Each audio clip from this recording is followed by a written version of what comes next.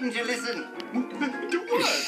Oh, you didn't listen, Ebenezer. To what? To who? To what I wanted you to learn. Oh, I don't remember you I'm like that guy ignored by Caesar, Huh? Caesar? who knew that Rome was gonna burn. What's Rome got to do You didn't listen, Uh, yeah, you said that. That's why my nose is out of joint. Huh? Well, your nose looks I know you aren't a people pleaser, Uh, I guess that's true. but you really missed the point.